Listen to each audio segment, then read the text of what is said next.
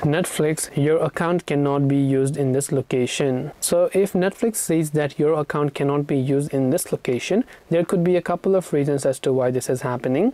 The number one cause could actually be VPN. If you're trying to access Netflix using a VPN, then Netflix may think that you're in a different country. So you can try turning off your VPN, right? The other is also the account issues. So if you actually bought the subscription elsewhere aside from your own country and now you're trying to view it in another country by using another service, then in that case Netflix will give you this error, especially if you purchase the account from third-party retailers and so on.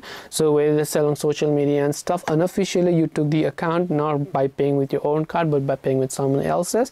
Then in that case also you could actually have this type of restriction. So you want to make sure that that's not the case.